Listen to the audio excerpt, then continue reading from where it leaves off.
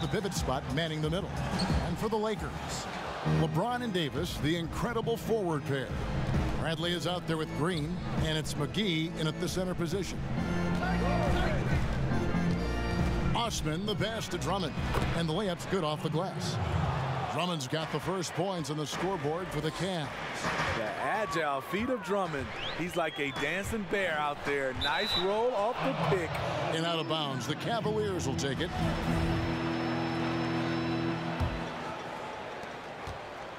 And so Sexton will bring it up for the Cavaliers. Love outside.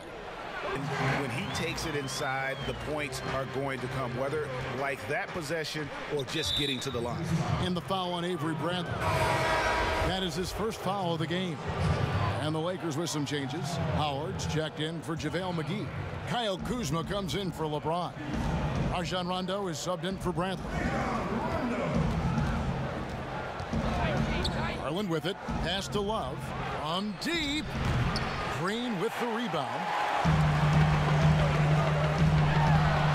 Left side Davis. A shot. No good. For Cleveland, they've gone three of five shooting the ball so far. And it's Drummond with the jam. There's not many that dunks it as powerful as Andre Drummond. He's explosive at two. Now, here's Garland. Defense right on him. Here's Thompson.